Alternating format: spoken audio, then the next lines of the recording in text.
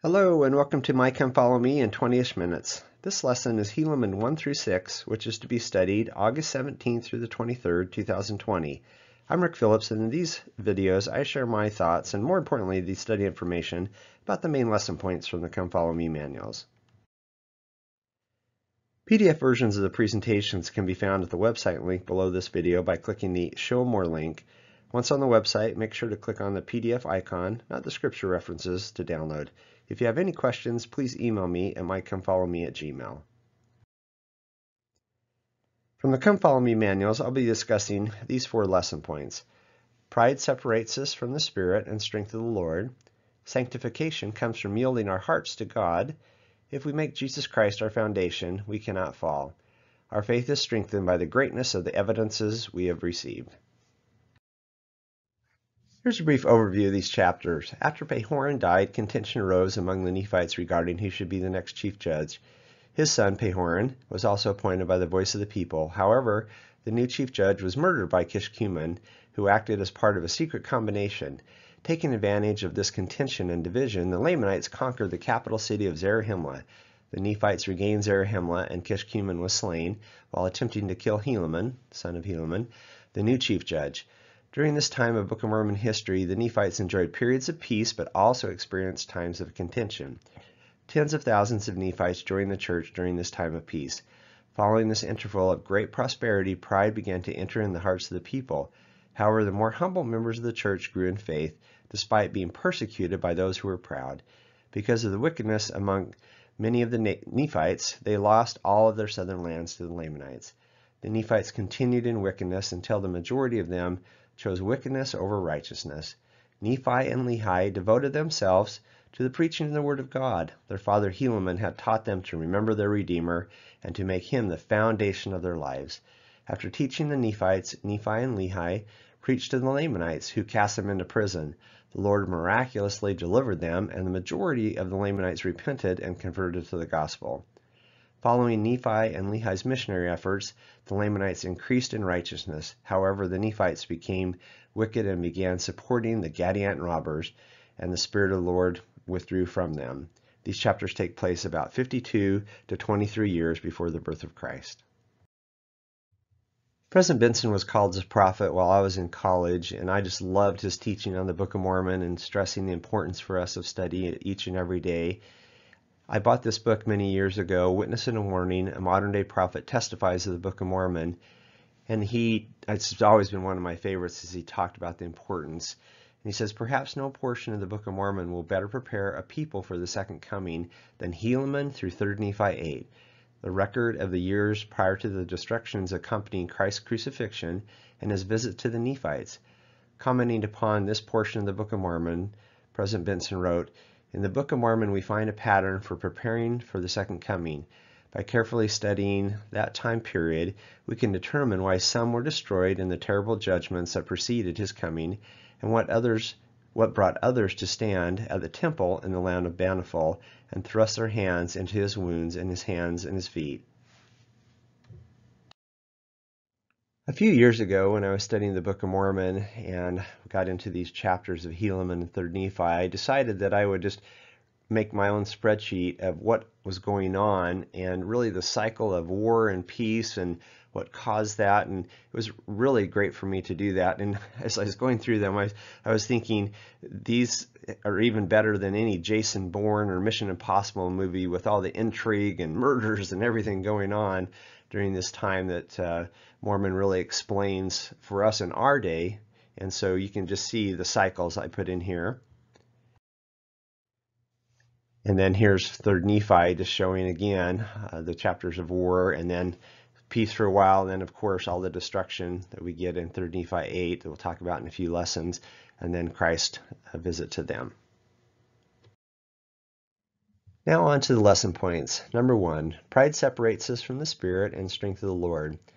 In Helaman 3 we read, And it came to pass that in the same year, the 49th year, there was exceedingly great prosperity in the church, inasmuch as there were thousands who did join themselves unto the church and were baptized unto repentance. And so great was the prosperity of the church and so many blessings which were poured out upon the people that even the high priests and the teachers were themselves astonished beyond measure. I love that. And it came to pass that the work of the Lord did prosper unto baptizing and uniting to the church of God many souls, yea, even tens of thousands and a few verses later. And it came to pass that the fifty and second year ended in peace also, save it were exceedingly great pride, which had gotten into the hearts of the people, and it was because of their exceedingly great riches and their prosperity in the land. And it did grow upon them from day to day. I love how Mormon adds that from day to day, just building a little bit here and there. We see a picture from the Come Follow Me manual and many other manuals about the Book of Mormon pride cycle, where on the right hand side there we're righteous and have prosperity. And then we start to develop that pride and wickedness, leads to destruction and suffering. And then we cycle to humility and repentance. In Helaman 4.12, the 61st year, it says, And it was because of the pride of of their hearts, because of their exceeding riches, yea, it was because of their oppression to the poor, withholding their food from the hungry, withholding their clothing from the naked, and smiting their humble brethren upon their cheek, making a mock of them that was that which was sacred, denying the spirit of prophecy and revelation, murdering, plundering, lying, stealing, committing adultery, rising up in great contentions, and deserting away from the land into the land of Nephi among the Lamanites. Uh, we certainly see this in similar things in 2020. President Benson said, Think of what pride has cost us in the past and what is now costing us in our own lives, our families, and the church. Think of the repentance that could take place with the lives changed, marriages preserved, and homes strengthened if pride did not keep us from confessing our sins and forsaking them. Think of the many who are less active members of the church because they were offended and their pride will not allow them to forgive or fully sup at the Lord's table. Think of the tens of thousands of young men and couples who could be on missions except for the pride that keeps them from yielding their hearts unto God. Think of how temple work would increase if the, the time spent in this godly service were more important than the many prideful pursuits that compete for our time. Elder Uchtdorf, in his great talk, Pride in the Priesthood, taught us perhaps there is no better laboratory to observe the sin of pride than the world of sports. I've always loved participating in and attending sporting events, but I confess there are times when the lack of civility in sports is embarrassing. How is it that normally kind and compassionate human beings can be so intolerant and filled with hatred towards an opposing team and its fans? I've watched sports fans vilify and demonize their rivals. They look for any flaws and magnify it. They justify their hatred with broad generalizations and apply them to everyone associated with the other team. When ill fortune afflicts their rival, they rejoice. Brethren, unfortunately, we see today too often the same kind of attitude and behavior spill over into the, the public discourse of politics, ethnicity, and religion. Oh, that is so true. My dear brethren of the priesthood, my beloved fellow disciples of the gentle Christ, should we not hold ourselves to a higher standard? As priesthood holders, we must realize that all of God's children wear the same jersey. Our team is the brotherhood of man. This mortal life is our playing field. Lesson point number two, sanctification comes from yielding our hearts to God. In Helaman 3 it states, And in the fifty and first year of the reign of the judges there was peace, also save it were for the pride which began to enter into the church, not into the church of God, but into the hearts of the people who professed to belong to the church of God. Interesting juxtaposition there. And they were lifted up in pride, even to the persecution of many of their brethren. Now this was a great evil, which did cause the more humble part of the people to suffer great persecutions and to wade through much affliction. Nevertheless, they did one, fast and pray oft, and did two, wax stronger and stronger in their humility, and firmer and firmer, number three, in their faith of Christ, unto the filling of their souls with joy and consolation, yea, even to the purifying and the sanctification of their hearts, which sanctification cometh because of number four, yielding their hearts unto God. From the Come Follow Me manual, it says sanctification is a process of becoming free from sin, pure, clean, and holy through the atonement of Jesus Christ. Once we have truly repented, Christ will take away the burden of guilt from our sins. We can know for ourselves that we have been forgiven and made clean. The Holy Ghost will verify this to us. He is the sanctifier. No other testimony of forgiveness can be greater. We remember from Alma the Younger talking about a few chapters ago that he would remember his sins, but the guilt and the pain was taken away from when he was a, a bad younger man and committing things when he was talking to his son. Continuing, it says, To be sanctified through the blood of Christ is to become clean, pure, and holy. If justification removes the punishment from past sin, then sanctification removes the stain and effects of that sin. Lesson point number three, if we make Jesus Christ our foundation, we cannot fall. Helaman 5.12, which is a scripture mastery scripture from seminary, says, And now, my sons, remember, remember, that it is upon the rock of our Redeemer, who is Christ, the Son of God, that ye must build your foundation, that when the devil shall send forth his mighty winds, yea, his shafts in the whirlwind, yea, when all his hail and mighty storms shall beat upon you, it shall have no power over you to drag you down to the gulf of misery and endless woe. Because the rock upon which ye are built, which is a sure foundation, a foundation whereon, if men build, they cannot fall. Elder Neil L. Andersen stated, My young friends, the world will not glide calmly towards the second coming of the Savior. The scriptures declare that all things shall be in commotion. Brigham Young said, It was revealed to me that in the commencement of this church, that the church would spread, prosper, grow, and extend, that in the proportion to the spread of the gospel among the nations of the earth, so would the power of Satan rise.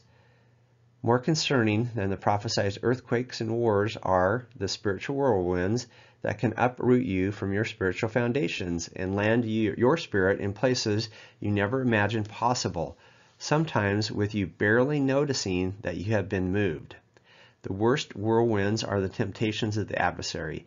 Sin has always been part of the world, but has never been so accessible, insatiable, and acceptable. There is, of course, a powerful force that will subdue the whirlwinds of sin, whirlwinds of sin. It is called repentance. Not all of the whirlwinds in this life are of your own making. Some come from because of wrong choices of others, and some come because of this is just mortality. Here's a picture of one of my places of protection from the storms of the evil one the Las Vegas Temple, and I love how this picture from Las Vegas or from LDS Temple Photography shows it with the the strip in the background. Such a uh, interesting contrast for sure. I've certainly missed going to the temple during this quarantine time, but love our Las Vegas Temple and the beautiful spirit I feel and the protection I feel therein. The final lesson point, our faith is strengthened by the greatness of the evidences we have received. I'm going to read part of a story about Nephi and Lehi that's just really miraculous and amazing. It reminds me of some of the events and stories from the Old Testament. And it came to pass that they, Nephi and Lehi, were taken by an army of the Lamanites and cast into prison, yea, even in that same prison in which Ammon and his brethren were cast by the servants of Limhi. And after they had been cast into prison many days without food, behold, they went forth into the prison to take them, that they might slay them. And it came to pass that Nephi and Lehi were encircled about as if by fire, inasmuch that they durst not lay their hands upon them for fear lest they should be burned. Nevertheless, Nephi and Lehi were not burned, and they were, as standing in the midst of fire, were not burned. And when they saw that they were encircled about with a pillar of fire, and that it burned them not, their hearts did take courage, for they saw that the Lamanites durst not lay their hands upon them, neither durst they come near them, but stood as if they were struck dumb by with amazement. And it came to pass that Nephi and Lehi did stand forth and began to speak unto them, saying, Fear not, for behold, it is God that hath shown unto you this marvelous thing, in that which is shown unto you, that ye cannot lay your hands on us to slay us. And now when they had heard this, they did they cast up their eyes as if to behold from whence the voice came. And behold, they saw the heavens open, and angels came out of heaven and ministered unto them. And they were about there were about three hundred souls who saw and heard these things, and they were bidden to go forth and marvel not, neither should they doubt. And it came to pass that they did go forth and did minister unto the people, declaring throughout the regions of the of round about all the things which they had heard and seen, inasmuch the more part of the Lamanites were convinced of them because of the greatness of the evidences which they had received. I just find this amazing that the Lord would use this miraculous power. Sometimes we pray for our loved ones or others to have certain these kind of events to take place in their lives, but you know, Heavenly Father seems like He uses them very sparingly. But wow, what an amazing story! Our amazing and wonderful Elder Holland once said, To those who struggle with their faith, you have more faith than you think you do because of what the Book of Mormon calls the greatest of evidences. The fruit of the living gospel is evident in the lives of the Latter day Saints everywhere. From an Ensign article in January 2000 called Mounting Evidence for the Book of Mormon, Brother Daniel C. Peterson states Serious study of the Book of Mormon by Latter day Saints is flourishing today as never before. And I was thinking this was 20 years ago, and just the last few years of Come Follow Me, I feel has really enhanced the study of the scriptures for families and individuals. And he continues, and with more study, the book's sturdiness and richness and remarkable accomplishments of its translator, the prophet Joseph Smith, become more apparent for everyone to see. Of course, scholarship does not replace spiritual witness as a source of testimony. As Elder B.H. Roberts of the 70 said, the power of the Holy Ghost must ever be chief the source of evidence of the Book of Mormon. All other evidence is secondary. No arrangement of evidence, however skillfully ordered, no argument, however adroitly made, can ever take its place. I find Book of Mormon Central such a great resource as I study the Book of Mormon and as I was studying this lesson. I was reading this article from them, Five Compelling Archaeological Evidences for the Book of Mormon. I really like studying archaeology and, and geography, and particularly in studying the Book of Mormon. But of course, my main testimony came from the Spirit when I was very first on my mission in a flat in Australia one evening.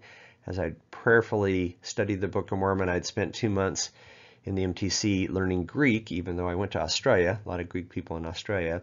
And I just remember just praying to Heavenly Father one night as my companion had gone to sleep that I really wanted to share a strong testimony of the Book of Mormon and just pleaded with Heavenly Father just to give me that sure witness uh, that I could testify throughout the rest of my mission. And I just got that sweet, overwhelming feeling of its truthfulness and confirmation of the Spirit that night in Australia. In conclusion, here are some of the lichens I got from this lesson. As a natural man, the study of the Book of Mormon will help me combat worldly pride. Sanctification is a lifelong process, not a one-time event. Jesus Christ is my rock and redeemer, daily tethered to him. My faith has been strengthened by the Spirit and also the evidences of around me. So many evidences around me to bless and strengthen my faith in this special time in studying the gospel and especially the Book of Mormon as we prepare for the second coming of our Savior. In his sacred name, Jesus Christ, amen.